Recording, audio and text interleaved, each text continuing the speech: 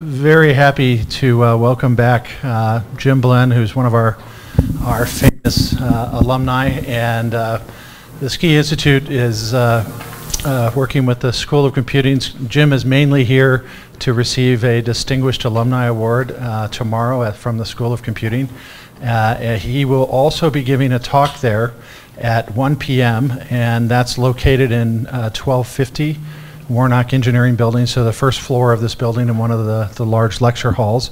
So if you'd uh, like to come back tomorrow afternoon at 1 o'clock. and uh, a different topic, yes. and uh, a different topic. And we, we were able to get uh, Jim to come here today to uh, give a more technical talk on his hobby.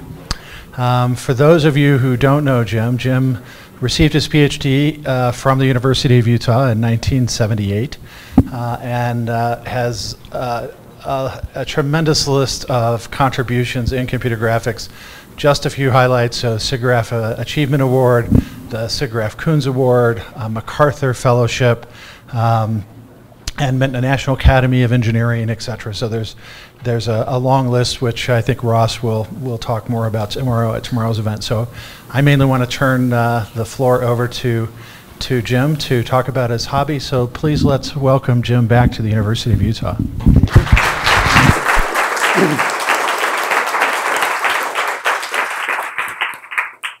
Thank you. I'm uh, going to try to cram an entire course in algebraic geometry into uh, about 50 minutes here. Uh, I'm going to do something different than was typically done, so uh, kind of set the stage, and there's a lot of really cool results that I'll just kind of show you uh, the results uh, at the end. this whole thing is motivated by you know, the need on my part to render 3D objects various first, second, third order and higher and uh, uh, rendering things. Uh, for example, when I worked at JPL, I drew a lot of spheres with textures on them. And I wrote a special purpose program to do that because we had a PDP-11 with 64K of memory and polygonalizing it would have uh, not fit. So uh, the first step of the program was to calculate the ellipsoid of the uh, silhouette area. And then every scan line, it would calculate the intersection left and right with that and then go through and solve a quadratic equation at each pixel look that up in the, in the texture map. And so that made uh, Jupiter, and that looked cool. Uh, next was Saturn, and that also looked cool. The rings is a separate program. And so here we are flying under the rings of Saturn, and flying under the rings of Saturn. And hey, where'd Saturn go? Well, what happened? When we look at Jupiter, look, uh, top view of the picture, uh, you know, we're looking uh, straight on it, and so the front view of the uh, of the sphere is an ellipsoid of some sort after the perspective transformation. But when we go to Saturn, we're looking off to the side to see the cool rings, and so now the plane containing the eye intersects the planet itself. And if you know about projective geometry, what that means is that the projection of the silhouette outline of that thing is a hyperbola, not an ellipse. And so if you don't recognize that in, in, in beforehand and, and, look for that, then you're going to have the planet missing, which is always embarrassing. Uh, this actually was a, uh, the hyperbolic silhouette uh, thing was uh, mentioned to me by my thesis advisor, Martin Newell, when I was a graduate student here. And uh, unfortunately, I forgot about it until I got smacked in the face of it by trying to do animation. So what I'm going to talk about today is what's uh, a subset of, of mathematics I've been focusing on, uh, classical real projective algebraic geometry. Classical means we're still talking about shapes. Nowadays, modern algebraic geometry kind of gets into very abstract things with uh, finite fields and weird, weird junk. We're actually talking about real shapes we can make pictures of, which is the, the term real. Uh, you know, mathematicians like to go into the complex domain, but uh, we're interested in real solutions to things because those show up on the screen. And uh, real is more complicated than complex. Projective geometry, as I just said, and algebraic geometry, basically dealing with equations and the shapes that they generate.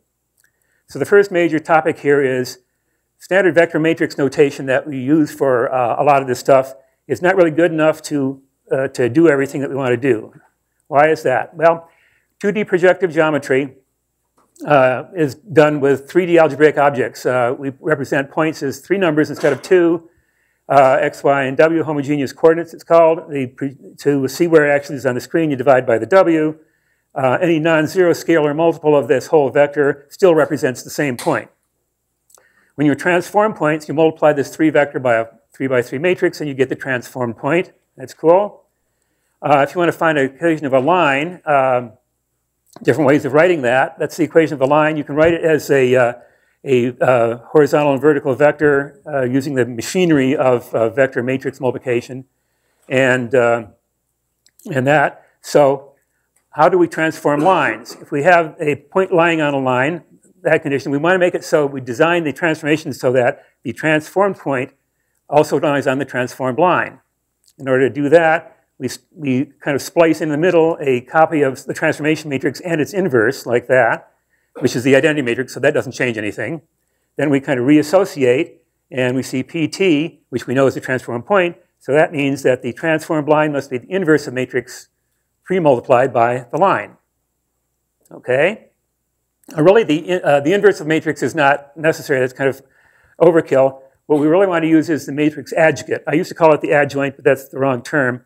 So some of the early papers, if you see them, uh, replace adjoint with adjugate.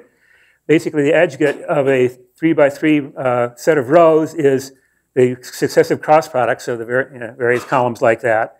And the trick is, I'm, I'm using star to represent adjugate here, even though that's actually not typical notation, but I need a, a bit uh, of a uh, abbreviation there. So whenever you see something star, that means the adjugate.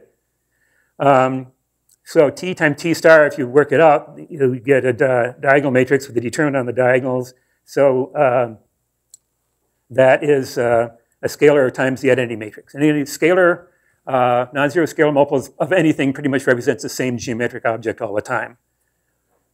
So to reiterate, transform points by uh, point times matrix equals point, transform lines by the adjugate times the column vector, giving you the column vector of the line. Now let's look up one uh, quadratic uh, curve. We can represent the, the uh, quadratic thing by this uh, matrix machinery that you've seen here. Um, right away we got something a little fishy here because we used to say that rows were points and columns were lines. And uh, this is one of the confusions that, that we're going to actually fix up a little bit. Some people think rows are points and columns are lines. Some people think columns are points and rows are lines. It depends on what school you went to, but I'm going to use rows be points. Um, so this is uh, P times Q times P transpose. Now, how do we transform uh, quadratics? We do the same sort of thing that we did for, for the lines. We uh, want to maintain the condition the point lies on the curve, and so we splice in a TT star here and the appropriate transpose if necessary, we associate, and that gives us the equation for how you transform a quadratic curve. Multiply T star times Q times T star transpose. Um, how do you know if a, a, line is tangent to a quadratic curve? I'll just hand you some results sometimes. They might be familiar already. You use the adjugate of the Q matrix in order to do that. You, you multiply um, the uh, line uh, ABC in on either side, and that gives you the equation that's zero. That means the line is tangent to the curve. And how do we transform the adjugate? Same sort of rigmarole here, blah, blah, blah. And uh, we transform the adjugate by the T, not the inverse, or not the adjugate. So the idea here, uh, third thing is, how do we transform transformations? Suppose you know how to rotate around the origin, that's easy to do, but you want to rotate around some point up to the upper right here. So we first transform the point to the origin, then we rotate around the origin, and then we transform the point back again. So that is the adjugate of the translation times the rotation matrix times the translation again, giving you the transformed rotation.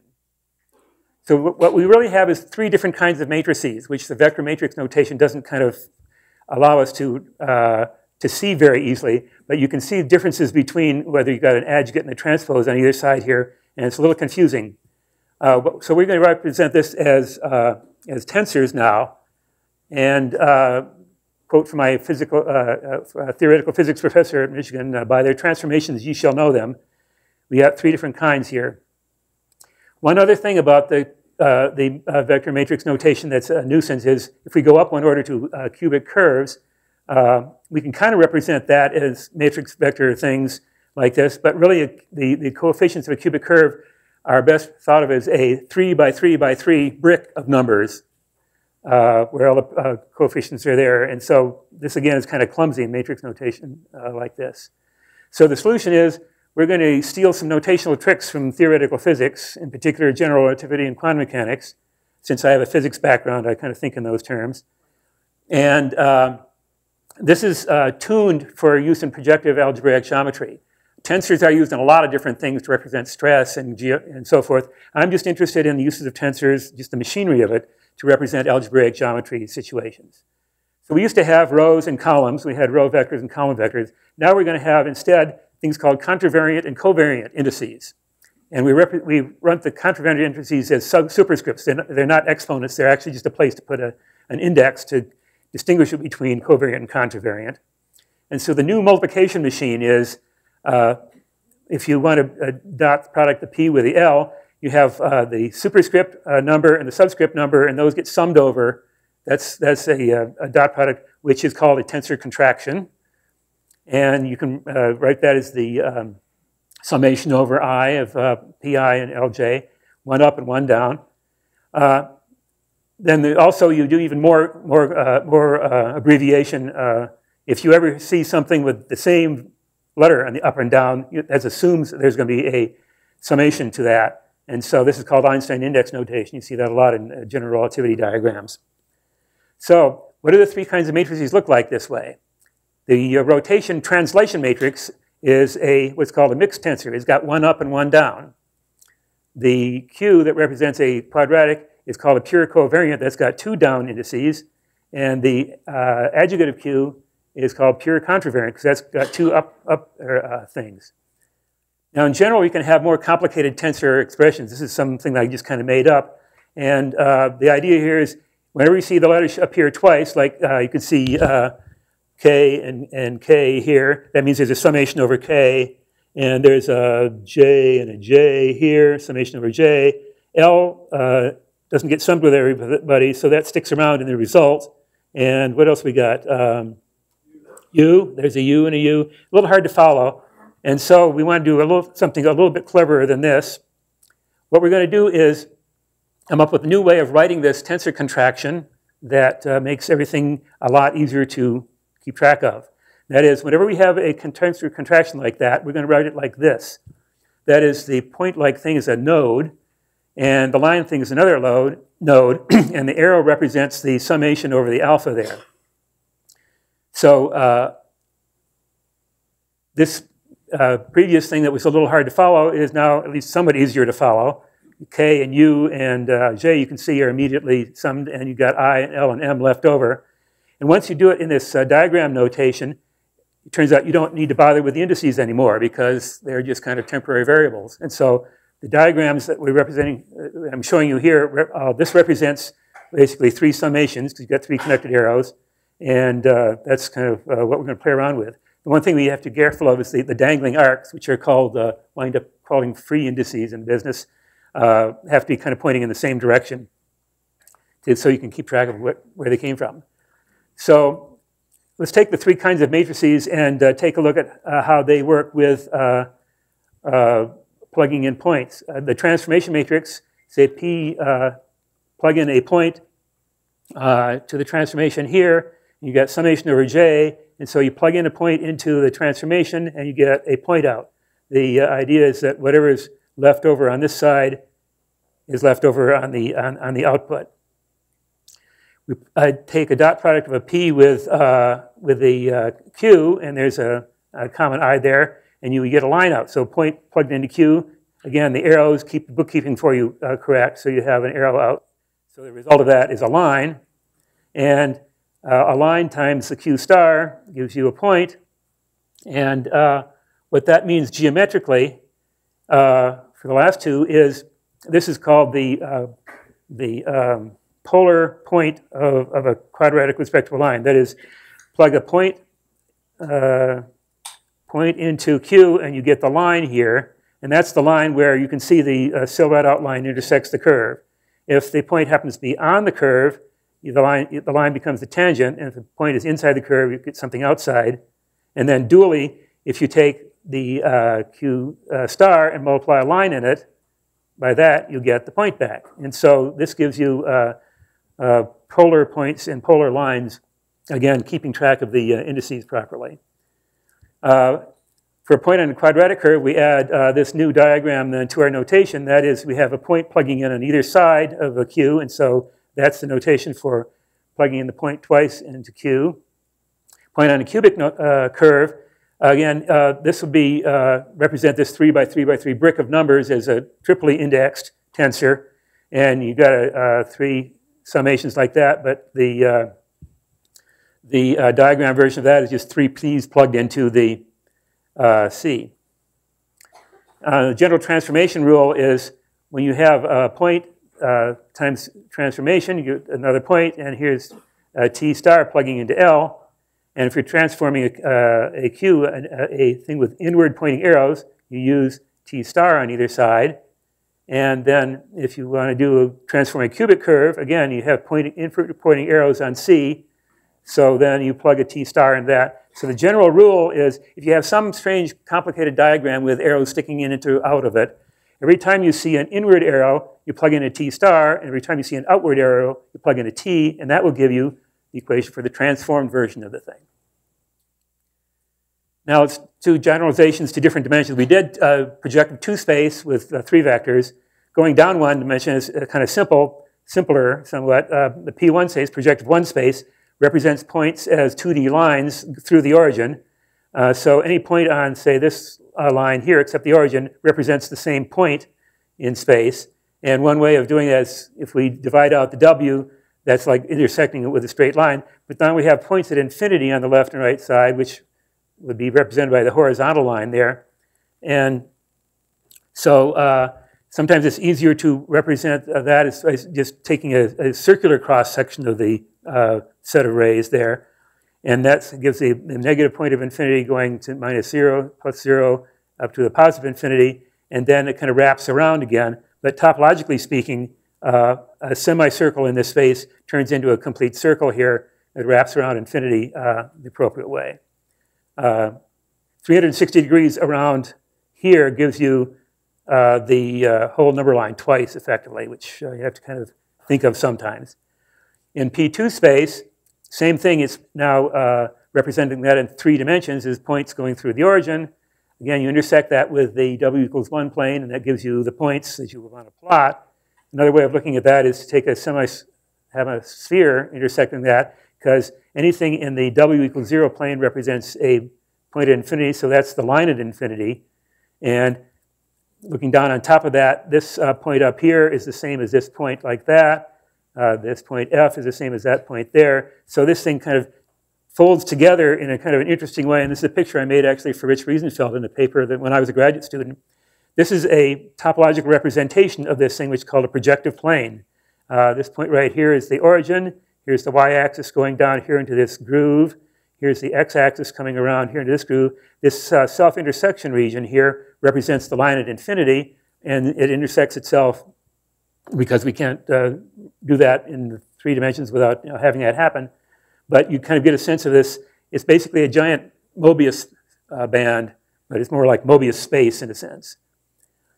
So the basic uh, thing that I've been playing around with then is here's the grid. We have each column represents a different uh, dimensionality, projected one, two, and three space, and each line repre uh, represents a different order of polynomial.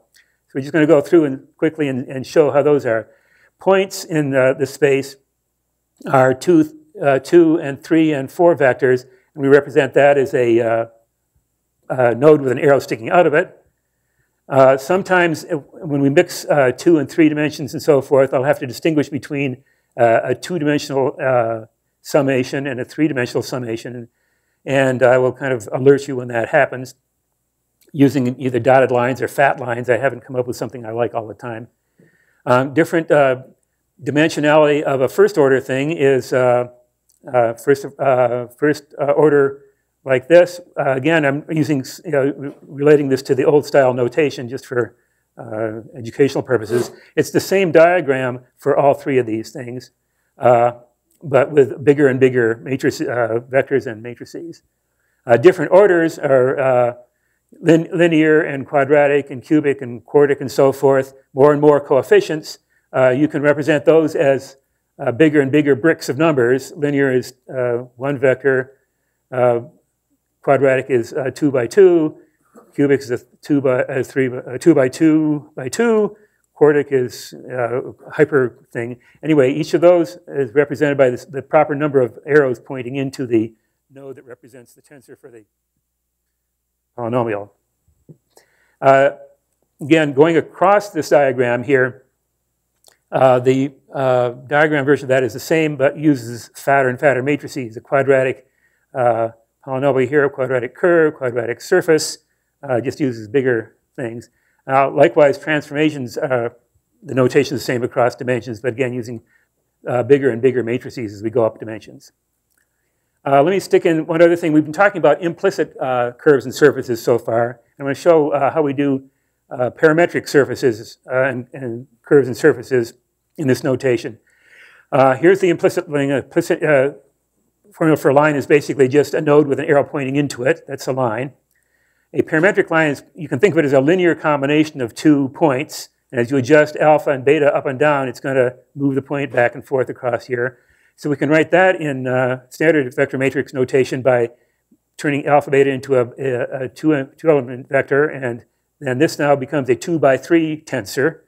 So the diagram notation uh, for that would be a parameter node with a two-dimensional uh, thing plugged into a uh, thing. So this uh, vector v here is uh, that. It's a two by three uh, tensor, and as you adjust p up and down, then it spits out the parameters.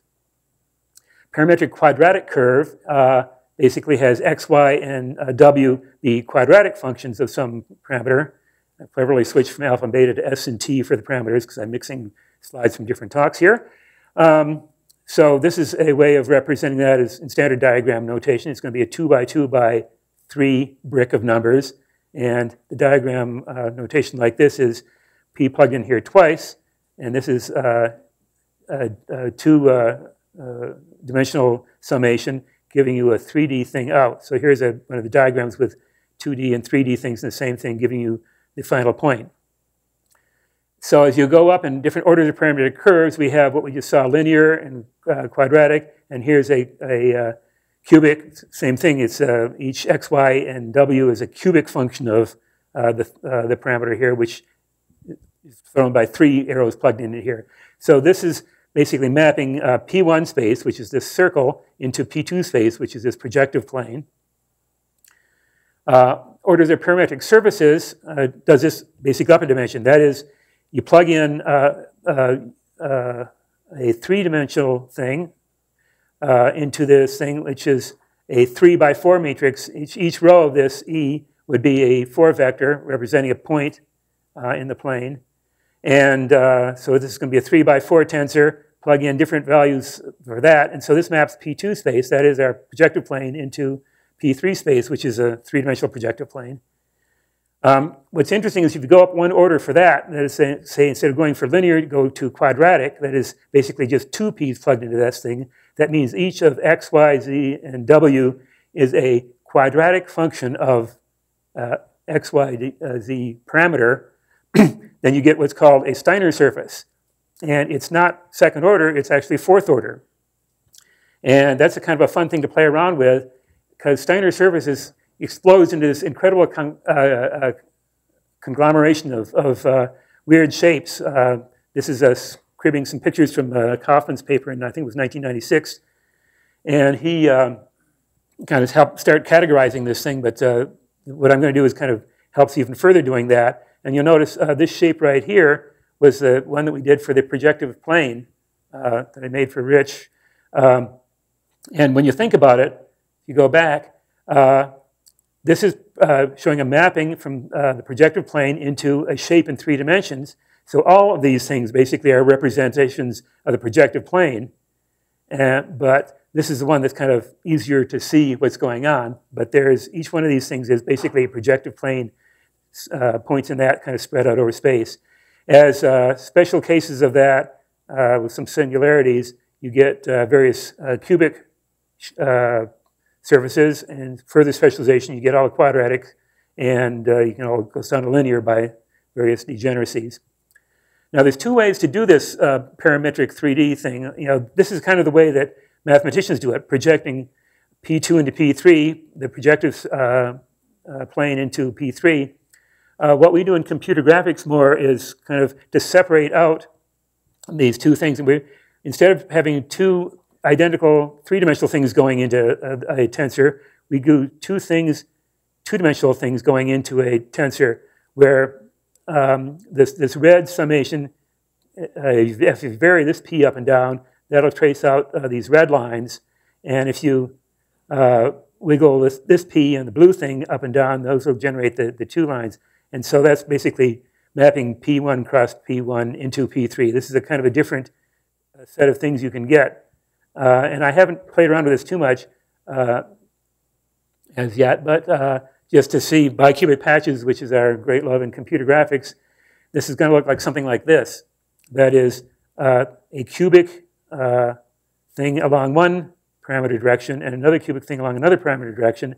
So this is going to be a 2 by 2 by 2 by 2 by 2 by 2 by 4 brick of numbers. And uh, that actually, uh, I think Tom Sederberg was able to prove that that can actually generate 18th order surfaces. And I'm still working on seeing if I can prove that with this notation, but I haven't gotten there yet. Um, cross products. Uh, two points make a line, and so we should be able to calculate that. Um, those of you who have seen this before realize that the way to do it algebraically is to take the cross product of the uh, two uh, row vectors, and I'm writing that as a column vector, which is, we like column vectors for lines, and uh, so forth. And so you can get the, the line out given two points. Uh, dually speaking, you take two points, uh, uh, two lines, and those make a point. So this two by three thing uh, gives you that. How could we represent that as diagrams? What we do is we invent yet another tensor, which is called in the business epsilon, sometimes called the Levi-Civita epsilon. And this is a three by three by three brick of numbers, mostly zeros. And it's, it's designed so that uh, if the subscripts uh, are like one, 0, 1, 2, or 2, uh, 0, 1, so forth, it's an even permutation of these numbers. It's a plus 1. If it's an odd permutation, it's a minus 1. And otherwise, it's a 0. So this epsilon tensor looks explicitly like that. And it's designed so that when you, oh, we, we use this so often that we further represent that as basically a dot. So anytime you see a dot, that's the epsilon tensor. And so if you look at the uh, indices, we have an upper down thing, an up and down thing. So you have two uppers plugged into this thing, gives you something with a down. So you get point and point gives you a line. And the diagram version of, like, of this looks like that. Again, you get a thing with an arrow coming in because of the direction of that. Uh, so this has a co and a contravariant thing here. Two points generate a line, and two uh, lines generate a point. This is an inward arrow thing, and this is an outward arrow thing. Now, how does uh, epsilon look in different dimensions? Now we get something uh, much different. In 4D algebra projective 3 space, the epsilon has four indices, and in uh, projective geometry, one-dimensional projective geometry, it has two indices. So let's look at the 2D one first. Uh, basically, the 2D epsilon is very simple. It's just a 2 by 2 matrix, uh, same rules of uh, even and odd uh, permutations of the subscripts. And that's designed, again, so that uh, taking the uh, epsilon product of these two things gives you this expression here, which is kind of like a one-dimensional cross product. And so the diagram version of that looks like this. And a reason that I wrote this thing uh, in that kind of shape is so we can keep track of this thing because P uh, uh, epsilon S is going to be minus S represent, uh, epsilon represent P. If, if, you switch these things around, you get them uh, flipped around. And so this asymmetry of the diagram helps us keep track of the asymmetry of the, uh, the matrix. P epsilon P is identically zero. if you take two epsilons glued together like this, you get minus 1 times uh, the identity. Uh, so if you flip one of those things around, the trick here is that if you have a diagram and you mirror image an epsilon, you flip the sign of the diagram. Or if you mirror image an odd number of epsilons, you flip the sign. So for example, here we can show immediately that the uh, plug an epsilon into the Q gives identically zero because you can take this thing, take a mirror image of it, it's minus that, so thing equals minus thing must equal zero. Or if you take a ring of things like that, again, at three epsilons, you mirror image that, you've got an odd number of epsilons, so that's identically zero. And in fact, if you have even a different thing here, uh, that's also identically zero. Now let's take a look at the adjugate and the determinant kind of explicit forms in uh, two by two matrices. Uh, the adjugate of a two by two matrix like this is uh, that, which you can uh, spread out is to uh, epsilons times the original matrix times epsilon. And so just kind of brute force, we kind of see that uh, the adjugate of this matrix is uh, an epsilon plugged on either side of it, one covariant and one contravariant. And I highlighted those with colors to keep track of them a little bit more easily. Uh, so if you plug m into this thing, just algebraic, well, you try it out and, and, see, yep, sure enough, it makes the identity times the determinant of the uh, original AD minus BC. And uh, now let's try something else. We're going to take this arrow here and connect it over here to that. Uh, that's a legal thing to do, and that gives you basically the trace of this matrix, summation over the di uh, diagonals. And sure enough, that gives you 2 times the determinant of the matrix. And uh, if you unravel this thing a little bit, I do a lot of diagram things and then twisting the arrows around to make the thing prettier. So twist this around here, it looks like that. And to make it even prettier, I will typically flip the direction of this thing just for aesthetics. And so this diagram here represents minus, because we flipped it, 2 times the determinant of m. Uh, again, uh, for a mixed tensor, like a 2D by transformations, we have covariant and contravariant. For a pure tensor, you can, it's exactly the same thing, except they're both the, the same uh, arrow direction. Now let's go up to three dimensions. We already saw that. The line through two points, for example, is uh, that. Uh, this, again, is also anti-symmetric because if you mirror reflect this thing, it flips the sign of it. Uh, if you plug a third point into this thing, this gives you what's called a scalar triple product, which uh, uh, is also the determinant of the three row vectors here. Sometimes that's denoted just like this, if you see it sometimes in the literature. That's the scalar triple product of the vectors R, S, and T. Um, the adjugate of a matrix, uh, I'm handing you these things, looks like this. And the determinant of the matrix uh, looks like this, and it's minus 6 times the determinant of t, because some constant values uh, always uh, fit in here. So this is the adjugate and the determinant. Uh, now we go up to four dimensions. Four-dimensional epsilon is this god-awful thing, 4 by 4 by 4 by 4, mostly zeros, strategically placed minus 1s for this, uh, this same sort of thing. And we're going to write that as this matrix here, or this diagram here. There's little tick marks sticking out on here, which is a detail which I won't, uh, I'll gloss over right now. Uh, but uh, just to show what's going on, uh, 40,000 foot view.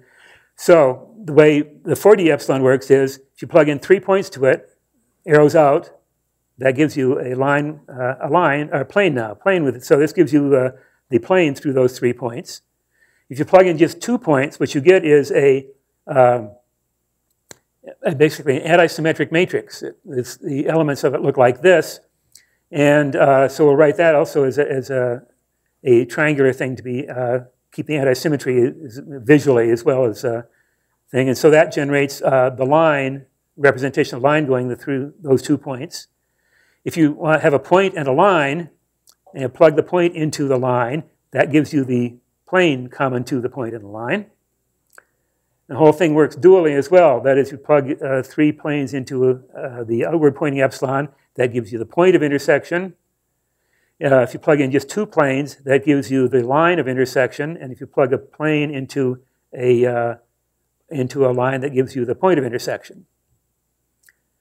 It turns out, you know, you can see that we have two different kinds of line matrices here. And if you take uh, S and T, you get uh, or M and N, which represent the same line, these two matrices are going to be different uh, subtly. They're actually the same values, but arranged differently. And so you can convert those back and forth between each other by plugging them into epsilon. And also identically, uh, this particular diagram is identically equal to zero for any lines that you have generated by one of these things. I'm not going to go into detail on this because I've written a bunch of stuff on that, which I can point you if you're interested. Now, here's an interesting thing about this. Suppose you take uh, two different lines in space and you plug this in there. If that value is non-zero, then those turn out to be skew lines. They don't intersect. But the condition of two lines in intersecting in space is that k uh, epsilon thing is equal to zero. We'll come back to that in a little bit. 4D epsilon, the adjugate, and the determinant are kind of the generalization of what we did before. Let me talk a little bit about the history of diagram notation. The first time I was introduced to it was uh, Jim Kajiya found this book, and he pointed me out to it because he knew I liked visual things, uh, diagram techniques and group theory. And I actually understood like the first chapter in the book. And that gave me the inspiration for this. The rest of it, I had no idea what he's talking about. Um, but it turns out that uh, this has been around off and on for some time. The earliest paper I know of, uh, 1878, written by Sylvester and Clifford, uh, was interesting because Sylvester uh, started out the paper in this kind of chatty way that they do in mathematics. I was having uh, lunch with my friends in the chemistry department the other day, and I wanted to figure out some way of showing him what I was doing in a way that chemists would understand, like with a bunch of circles with lines in between them. so, uh, in fact, Sylvester's paper was a little bit too enamored with that because he said, you know, a quadratic matrix is actually an oxygen made out of oxygen, and a quartic is made out of carbon, and so forth. Um, so Sylvester and Clifford uh, uh, communicated back and forth on that. A few later, years later, a guy named Kempe wrote some papers that did this a little bit more, and uh, I haven't found much. In 1989, there's a good paper by Olver and Shakiban, husband and wife team, uh, and I'm going to show some of the results of that in a second here. And then Stedman's book that I learned this stuff about. And I've been playing with this thing from, since 1992. And uh, another guy that I communicated with, uh, Jürgen Richter-Gebert in Germany, has played around with a little bit too. Uh, but it's kind of an old notation. But the problem with, with, Sylvester's thing here is that there's an ambiguity in it. And uh, one other interesting thing about this, in fact, was Sylvester talked about molecules and so forth, and he, it turns out that in 1878, the existence of molecules in the real world was not a foregone conclusion. Physicists didn't really think that molecules existed, atoms existed then. They were just a mathematical abstraction. It wasn't until, like, uh, was it uh, 1905 when some guy wrote this paper about Brownian motion that actually that was experimental evidence that uh, atoms uh, existed. So the problem with Sylvester's notation is that he represents this thing with just a line, which uh, what I'm representing with you know this epsilon tensor. And so if you uh, rotate it, you don't uh, keep track of the fact that, or if you mirror it, you don't keep track of the fact that it changes sign. And so he had some difference with signs. Olver and Shakiban tried to improve that by using a, an arrow instead of a line. And again, that works okay for rotation, keeping track of which one's which. But mirror images, again, get confused. So the, the nice thing about this uh, diagram notation is that uh, this asymmetrical thing, uh, you can rotate things around. That doesn't change the meaning of the, uh, and, and, translate them. That doesn't change the meaning. But if you uh, do a mirror image, it changes the sign. Uh, you might also see diagrams from you know, like Penrose's book. this is a different dialect, basically, where he says the upper indices be sticking out of the top of the thing, the lower indices sticking out of the bottom of the thing. He has different things he's emphasizing. Feynman diagrams have a, some relationship to that too. But here's the two most important things about tensor diagrams. Number one is uh, we start out saying uh, basic linear relationship between vectors in three dimensions. we know that if we have uh, any vector, that it can be a combination of three basis vectors. In other words, any four vectors are not linearly independent. And it turns out if you play around with this a little bit, you can find that the uh, coefficients are actually uh, written in diagram notation look like this. And this is sometimes called a Grassmann-Plucker relationship. It's related to Cramer's rule and so forth. But note that each element of this thing has the same number of nodes and the same number of arcs. They just connect together differently. So this is a kind of fundamental uh, thing that's true of any four vectors in space. It's, you know, they're, one can be represented as the uh, linear combination of the others. So that leads to something called the arc swapping identity. Here's the thing we just did before. I'm going to rearrange them a little bit to put all of the uh, things in the same place on the diagram. And it looks like this thing is equal to this thing with this arc swapped here, and this arc swapped here, and this arc swapped here. So what that means is if you have some more complicated diagram, then you can basically do uh, manipulations on that by taking this thing and swapping it with the various things. And you take this thing, whatever it represents, this is a you know, polynomial of some sort, that is equal to these three polynomials. Now, in different dimensions, the arc swapping uh, identity uh, looks a little bit simpler in two dimensions. Again, it's uh, you're swapping an input one, one uh, arc with the two things on, on, an epsilon. In four dimensions, it's a, a little fancier, but basically because there's four, four arcs coming into the epsilon. And so you have, you have four terms coming out. So this allows you to do uh, do calculations by this. Here's a little video, which I hope I can figure out how to start.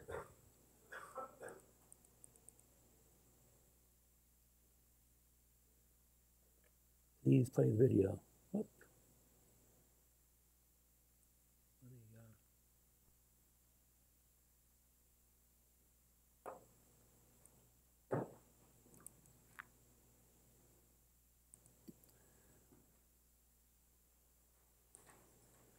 There we go.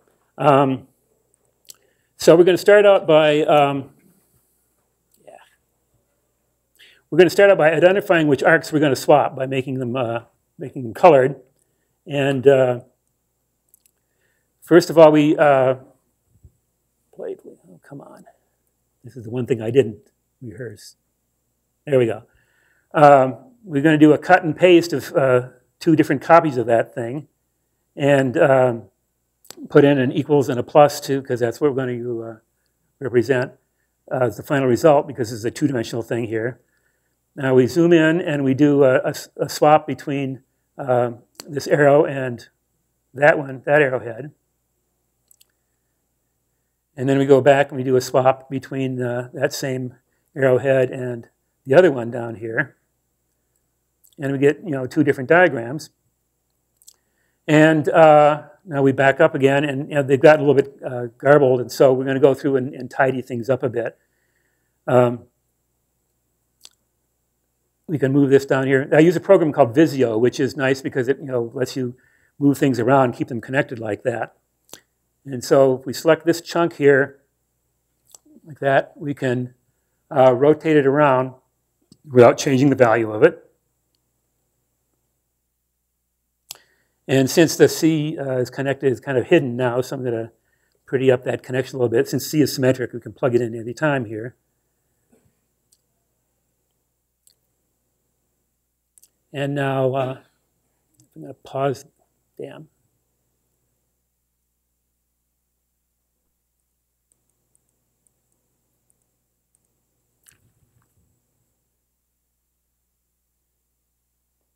Let me well, I'll give you the punchline, otherwise I'm going to be here all day.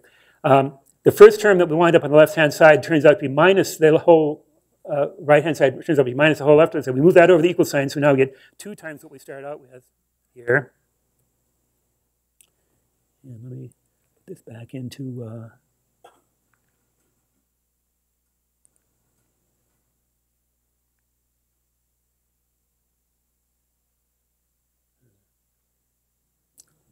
Anyway, 2 times this equals that. Now this uh, here, which I'm not no longer able to draw on, I'm trying to do this so that the people uh, not in the audience can see what I'm drawing, and I'm trying to remember what.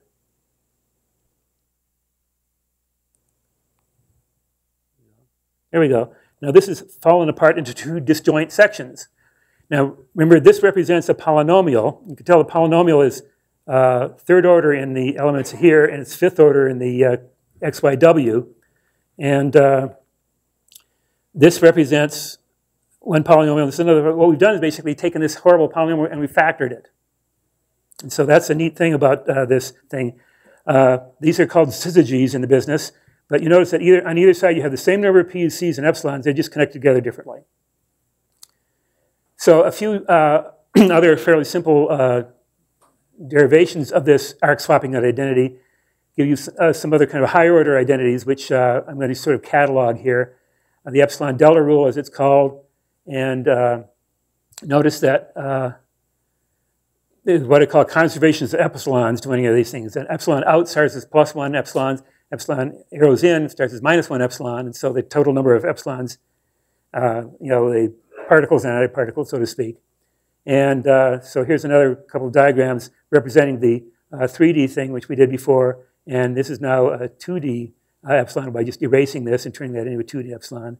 Likewise, there's a thing between 4D and 4D. But here's the important identity about this thing now. Let's see, we want to transform the epsilon tensor itself. We plug in a transformation on either side thing, the thing, and a little bit of epsilon uh, arc swapping thing, and we can prove that that equals this thing times that. Again, you can see uh, there's three epsilons here, but plus minus one and so forth. So uh, this is equal to that. In other words, when you transform the epsilon, it comes back the same, except scaled by some scalar factor. Why is that interesting?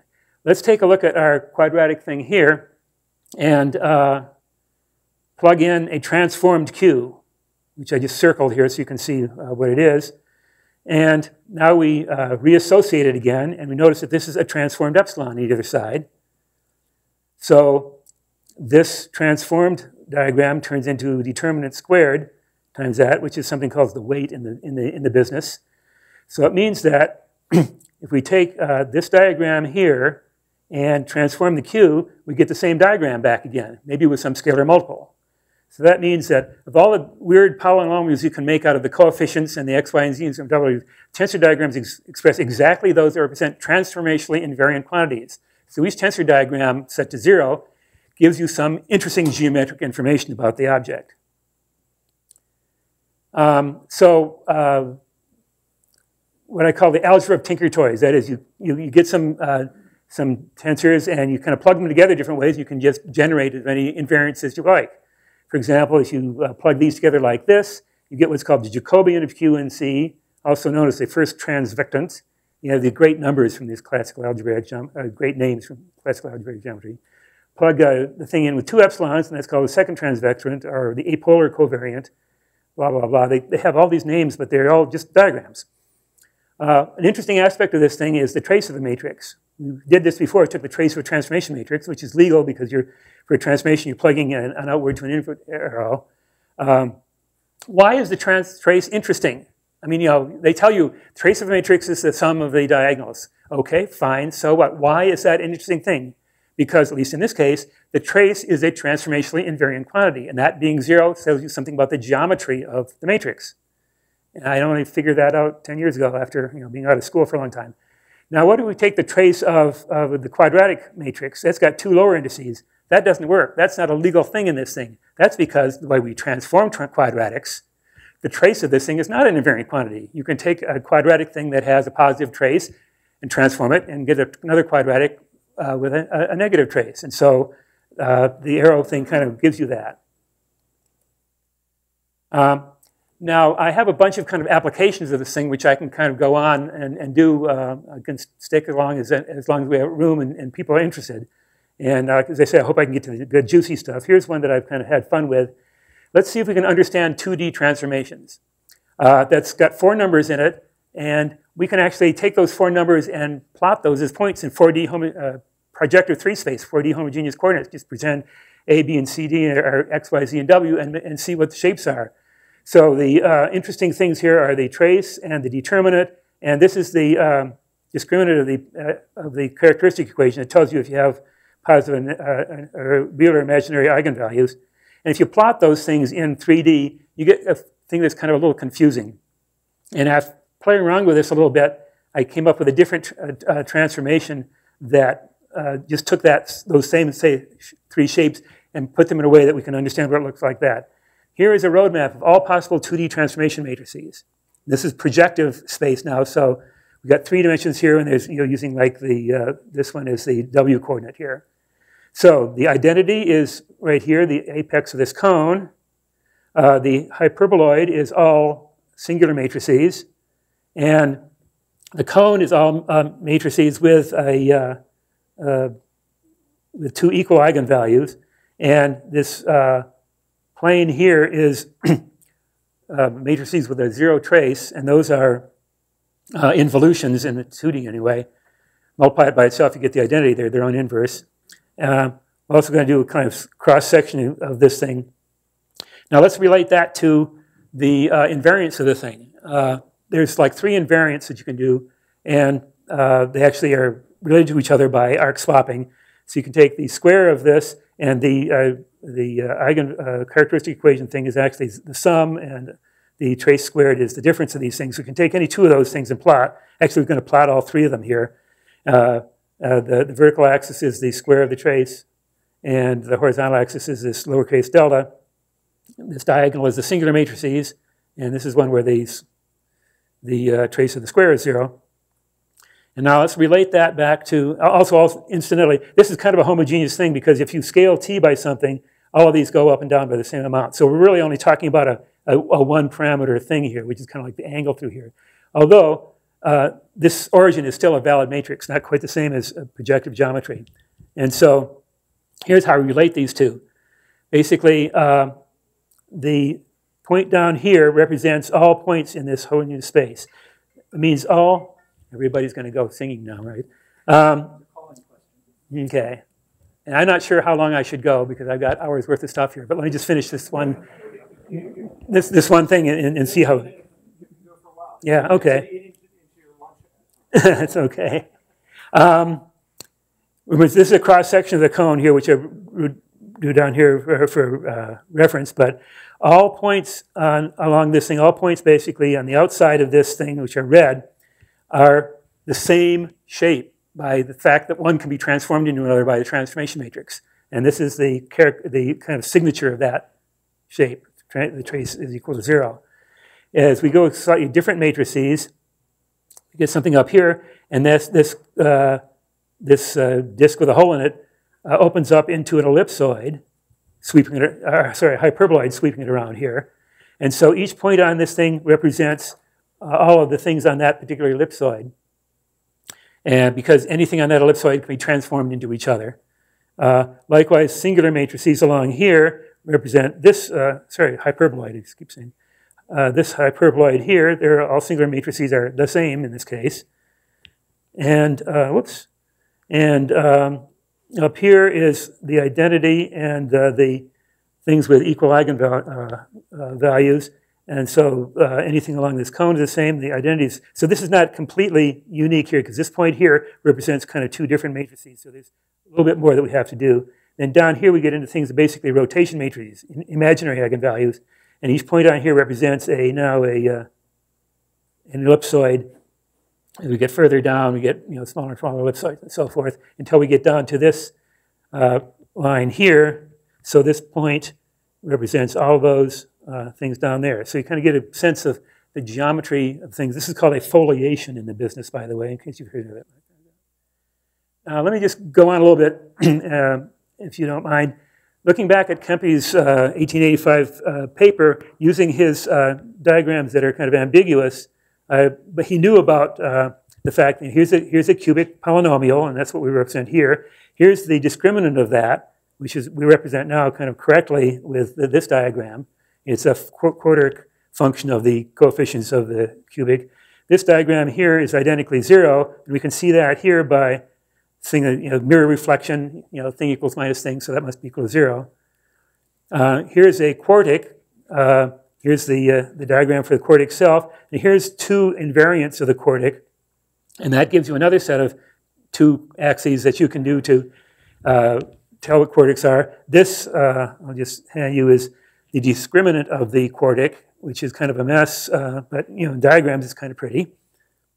Uh, he also did uh, contravariants of the quartic, that is, diagrams with extra dangling p's on here.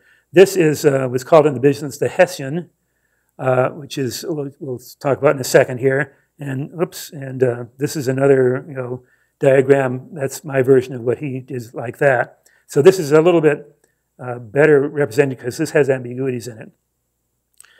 And now he gets into quintics and you know arcs with five things sticking out of them, and uh, and uh, that's something I would represent like this. Things get a little more complicated, and then um, the discriminant of that is a, I'm not sure what it is, but it's a linear combination of these things here. And uh, then he gets into contravariants, as they call things with, with, with, uh, with uh, like there's 26 different, how the hell he figured this out, I don't know. But uh, you know, they didn't have television and the internet that, those days to interact, to distract you. Um, let's talk a little bit about derivatives. Let's take uh, the cubic uh, polynomial function here, which is a function of x, y, and, and w here. And that's our diagram version of that. Let's see if we can take the partial derivative of this with respect to x. What does that look like in diagram form? Well, partial derivative of just the vector x, y, w is 1, 0, 0, right? Derivative of x with respect to x and so forth. Now, we remember the uh, product rule for taking the derivative of uh, products of three things is you know, derivative of the first one, derivative of the middle one, derivative of the right one equals 3 times, ultimately 3 times x squared. So in diagram form, that looks like this. Here's the derivative of the first one. Here's the derivative of the other one, derivative of that one. Since this is symmetrical, these all kind of collapse together into one diagram here. So This here is now the partial derivative of this with respect to x. And if we look at this, just this part of it, that vector, when dotted with 1, 0, 0, gives the partial derivative with respect to x, which means basically that that vector by itself is going to be the column vector of partial with x, partial y, and partial w. So in order to take a derivative of something, you just lop off a, lop off a node. To take a second derivative, you lop off two nodes. Uh, to do the Hessian of something, which is typically defined as take the second partial derivative of something and take its determinant, and uh, the determinant is plugged in like that. So this is the Hessian of a cubic polynomial. Uh, here's the Hessian of a quartic polynomial, which is another quartic, in fact, which is amusing for ways that I won't be able to get into today. Let's move up a dimension. Um, the Hessian of a cubic curve is same sort of thing. You take two uh, derivatives on this thing and, and take its uh, determinant, which uh, requires two epsilons here. And so uh, that, again, the derivative of a, cube, uh, the Hessian of a cubic curve is another cubic curve, which is kind of fun. It turns out Hessians kind of deal with flatness. And what happens is, if you have a cubic curve and look at its Hessian, those two intersect at the inflection points. Now, subatomic physics. Again, physics uh, background. We have what's called the inner product, which is this tensor, you know, inner product like that. What if we did it the other way around? We get uh, backwards, and, and the rules of matrix vector multiplication are uh, this, and the outer product looks like that, which is a matrix with one arrow in and one arrow out. Uh, for example, when we said intersecting lines, we take k and l uh, uh, equal to zero, those intersect in, in, space. Let's take this thing and snip the thing uh, off here and kind of flatten it out a little bit. And we, we do this as the, the dual version of that. This is now a, a vector, a, a matrix, one arrow in, one arrow out. And it turns out that that is the outer product of the plane and the point, plane containing the lines and the, and the point at the intersection. And again, if you take the trace of that matrix, uh, it's always zero because, of course, the point lies on the plane. There's different types of outer product, uh, depending if you do uh, mixed or, or, pure tensors. But you have to play around a little bit when you're doing uh, uh, things like this. If this is a, a, a thing like that, um, product, product of M and L, which is fine as long as you're putting the same value into here. But if you're putting different numbers on either side, you note the thing that uh, they're not the same. So if you have, uh, say, a diagram which ex expects a symmetric matrix plug into it, you have to first symmetrize this thing by getting, it the sum of the permutations. And sometimes that's denoted by putting a, a, a, a ring around there representing all positive permutations. And so if we plug this into this Q now, we get uh, uh, and expand it. This, this, will, this will expand into two terms and two terms. So there's a total of four terms. This one is identical to zero because it's an M and M and an LL. It's not just zero, it's very zero because it's zero times zero. Likewise, this is a, that too, but the result of this thing here is ML times ML. Notice that's the point in here. So in other words, the adjugate of this matrix is the uh, outer product of the point of intersection of those two things. So we have this what's called nice nested degeneracies. If you have a, a, quadratic function here and it's non-zero, then it's going to be rank three, so it's going to represent some uh, some uh, quadra, uh, uh conic section. If you have this equal to zero, that means the rank is going to be less or equal to uh, two, and so the adjugate of it is going to be uh, singular, and it's going to be the point of intersection, which you just said. If we have um, the adjugate being equal to zero, there's a whole zero matrix here, then we have rank one or perhaps less, and that means that the Q is the outer product of, this is a, this is a square of a line. The two, the two lines are on top of each other. And then, you know, rank zero, the whole thing is zero. So we have this kind of nested thing where we take a diagram and we keep snipping away parts of it, and that gives us a sub uh, case that's even more singular. We snip away another part, the sub case is even more singular. So there's nested degeneracies like that. And uh, so analyzing cubic curves like that, what the game here is we're going to take a tensor, we're going to try to write it as the combination of, uh, of uh, linear combinations of rank one tensors. And it turns out that a cubic polynomial uh, curve can always be represented as the sum of a uh, triple line and three more lines here.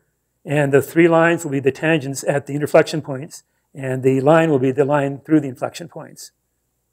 Now, if you're going to plug that into some of the things like that, you have to remember that this thing has to be symmetrized, so that kind of blows up a little bit combinatorially, and uh, that. But what's nice about this representation is that various degeneracies can be represented in terms of the ways that these lines can be degenerate. That is, if you have uh, four independent lines, you get a kind of general curve. If it happens, so, so happens that two of them intersect each other, we get a situation where the tangents uh, uh, are collinear. And if you have, for example, the intersection of L and M lying on K, uh, you get a degeneracy which is a curve with a loop in it.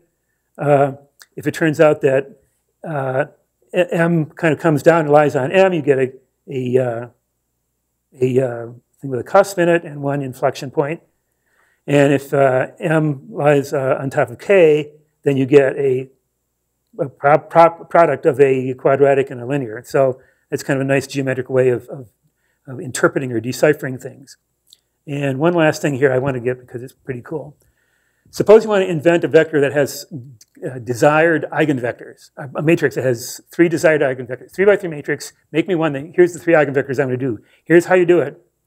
You can write it as the outer product of these three terms here, where these are the three eigenvectors, and these are the cross product of the other two eigenvectors. And you can see immediately that that's going to work because if you imagine, uh, say, plugging a p into this thing, this gives you PSQ, which is a non-zero thing, times p, like. But here we get uh, p and p in both places, and here the P and p in both places. So the p plugging in here will immediately cancel these things out, you leaving you some scalar function of t, p, right? Now, suppose we want to do what I call exemplary transformations. That is, Turns out if you have four points in the plane, it's always possible to find a projective transformation that will map those into four other desired points. This is done with photographic rectification. There's various slightly complicated ways of doing that, but there's a, somewhat simpler way of doing that because now we can say instead of having P on the outputs uh, be the same as the, the, the uh, eigenvalues you want, we say uh, we want those to be the outputs here of Q and uh, R so this right away works uh, for at least three of the points because you plug a, a P into here and, uh, and, uh, and uh, this will cancel out and this will cancel out, giving you now the, the pink P. Likewise for Q and R, same way as eigenvalues. We just have to come up with the values alpha, beta, and gamma that work for R now. And I'll give you the punchline. There's a derivation of this thing, but it's this, slightly complicated looking, but if you write it like this, you can kind of see the machinery of why this works. Notice, uh, I'll just tell you if you don't notice this, each one of these things is the same, except each one is missing an, a, uh, an R in a different slot, okay? And these are uh, three different things. And so if you plug R into this, this now is a common factor of all these things, which factors out. And so this is, this is this times this, which, uh, again, going back to our original three diagram thing, shows that that works for R. So um, I think I'll let people uh, escape now at this point and have some lunch. Thank you very much.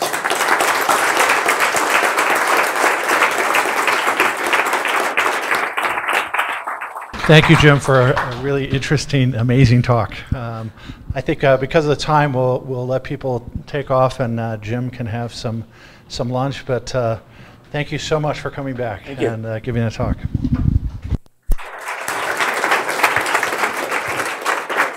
Well, I got.